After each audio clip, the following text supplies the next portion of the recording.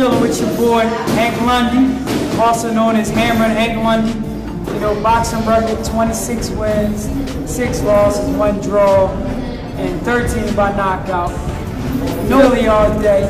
Signed with Jay Prince, that's my manager. You know, he also has Andre Ward, a couple big stars. I may know him. Little short guy with the Kangol. You know, and I'm signed with um, Classic Entertainment Sports. You know, they race out of Rhode Island. You know, head guy named Jimmy Burchfield. I've been with him my whole career. And you know, you rocking with your boy Hammer, one of the top guys in the game at 135 and 140. Top 10 all across the board. You know, rated in every division, you know, um, especially WBC, IBF, you know, WBO, all across the board. Last fight was against, you know, pound for pound champ, Terence Crawford, you know, and I held my own, you know. I'm, one and only, you know what I mean, and Hank, you know, Philly's tough guy, Philly's mouth, you know what I mean, Mr. Punch in your face. this Training shit is a lifestyle, baby. Oh man, you know, when I first started this, this game of boxing, I actually walked in the gym at the age of 18. You know, no experience, you know. Came here, I was a former football, high school football star. And this was my way out. You know, I got in the gym. Next thing you know, four years went by. You know, I'm fighting for, you know, the golden glove, you know, golden, you know, the golden melon. I came out with the silver melons, but, you know, I had a good, you know, amateur career, you know. I was a natural, you know, everything progressed fast, and then next thing you know, you know, I came off into the pro rings. To me, you know, is a self-motivational, you know what I mean, sport. You know, if you don't put in the hard work, you're not gonna win.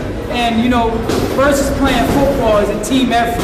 Boxing is a team effort, but you actually have to get in there and, and outwork the other guy, you know, and give your all in all. If you don't run, you know, if you out partying, it's all to show up in the ring. So half of the time, you know, what your coach tell you to do, you have to actually get out there and do it yourself, you know, and it's all about hard work. If you want it, you got to go get it. And it's all about, you know, who want it and who don't want it. Okay, Terence Crawford, you know, it was a big fight, you know, um, bigger guy.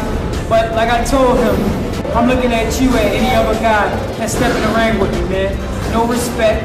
It's all grit in there, you know, everything I do, I do for my family, you know. That's for both of us, you know. Fight. He said I got a lot of respect for you because a lot of guys wouldn't fight me. And I came in there and I gave him all, I mean, he could handle, you know. I still think the referee, championship fight, should step in here and let it go like it was to man. You got two warriors in here, you know, and I get a lot of love and a lot of support for everybody around the world. But, you know, to each his own, and I still want you, I'm gonna get you back in that ring. Danny Garcia, um, two Philly guys came up with each other in the amateur. We actually was on the same team in 2006, you know, national team for Philadelphia. You know, he, we held it down, you know, um, a good friend.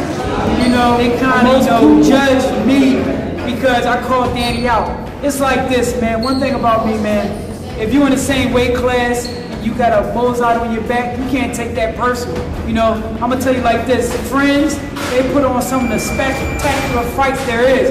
You got Sugar Shane and Oscar De La Hoya, were best friends, and look at the wars they put on. You know, a lot of guys, oh, you shouldn't call Philly versus Philly out, but at the end of the day, man, I'm just trying to be great and put on good fights. But at the end of the day, much love and support to Danny, you know, man, holding Philly down, you know, like myself, know, I mean, keep on doing what you do. I've been fighting a lot of guys at 140. 140 is not my real weight, 135 is. In the world, no, at 135 I can't be beat. You know, I fight Gamboa. Um, any of the current champs that's right now at 135, I want them, you know?